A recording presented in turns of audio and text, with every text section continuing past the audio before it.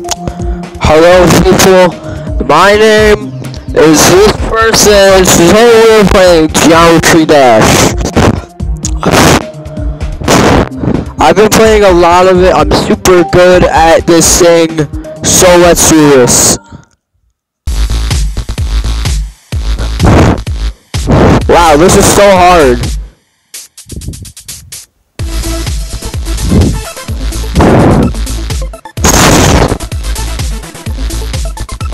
I've been practicing this for so long. And I got really good at it.